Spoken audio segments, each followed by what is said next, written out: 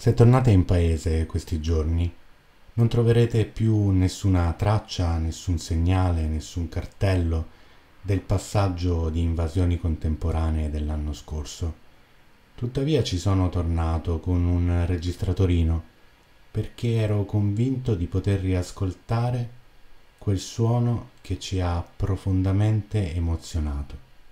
E questo è quel suono.